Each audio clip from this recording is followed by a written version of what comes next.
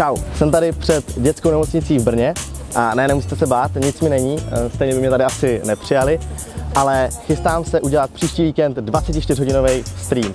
Nejenom, že si spolu zahrajeme nějaké hry a zkusíme se zabavit, ale i zkusíme vybrat nějaký peníze pro dobrou věc a to bude právě dětská nemocnice.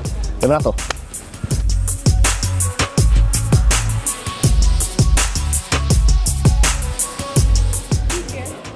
Tak tady do té dětské nemocnice jsem chodil vlastně s každým svým zraněním. Když jsem eh, si zlomil ruku, nebo když eh, jsem měl eh, kýlu, nebo když mě pokusal třeba sejřin osmák. A to je i ten důvod, proč jsem si tuhle nemocnici vybral. No a teď půjdu za panem profesorem Plankou, aby nám řekl, na co ty vybrané peníze potom použijí.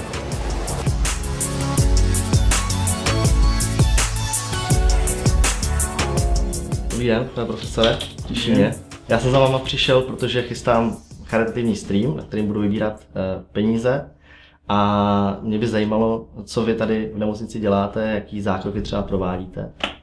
Já moc děkuji, že jste si vybral zrovna nás, protože eh, si myslím, že se zabýváme velmi důležitou prací a to je péči o dětská poranění.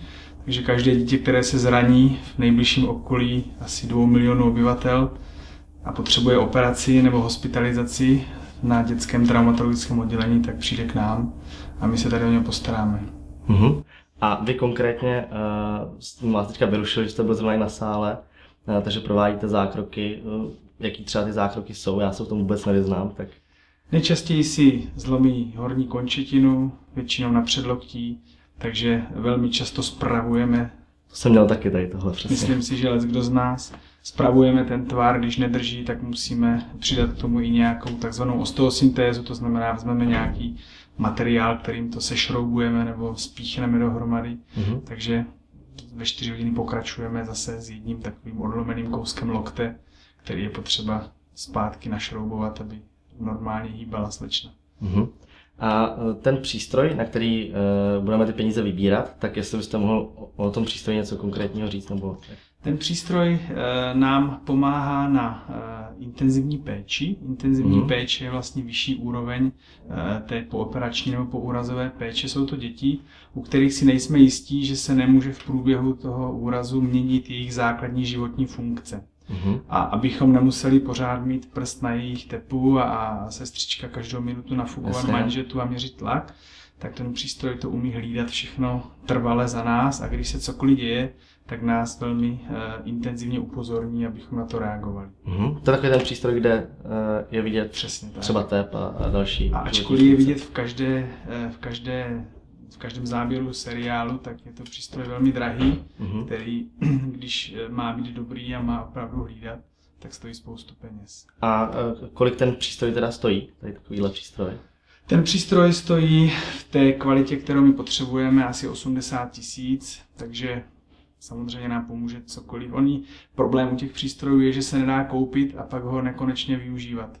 Mm-hmm. Přístroje mají svoji životnost a ta obnova je daleko rychlejší, než jsou možnosti našich, našich jakoby rozpočtů, takže samozřejmě se snažíme udržet při životě všechny přístroje co nejdíl, ale vždycky, když se objeví takovýhle nějaký, nějaký skvělý projekt, který nám v tom může pomoct, tak nám eh, umaže to, abychom jeden ten nechali přeslovovat a bezpečně hlídali další dítě. Ale takže znamená to to, že když teda těch peněz eh, vybereme víc, kdyby se povedlo vybrat víc, tak máte to za co utratit, tady prostě přístrojů, co sem pořídit je pouze kdybychom se bavili o těch provozních přístrojích mm-hmm. a nebavíme se o nějakých, jakoby, ta medicína dneska jde daleko rychleji dopředu, než jde dopředu ekonomika. Takže my Aha. bychom byli schopni utratit spoustu peněz za nové přístroje, nové nástroje, nové léky, ale alespoň ty běžné, kdyby se dařilo udržovat v takové té kvalitě, tak eh, samozřejmě, že vedení nemocnice na to dbá a snažíme se, ale eh, pokud je možné pomoct tímhle způsobem, tak zase Eh, se dokážeme posunout rychleji někam dál. To je super. Tak jo, já jsem rád, že jsme se mohli vidět, že jste mi takhle přiblížil, eh, na co konkrétně ty peníze teda půjdou. A budu se těšit, až vám za 14 dní zavolám, kolik se teda povedlo na přímém přenosu vybrat. To bude úžasný a moc děkuji za všechny takovéhle akce, které jsou vám speciálně a taky se budu těšit na hmm. Super, děkuji. Díky.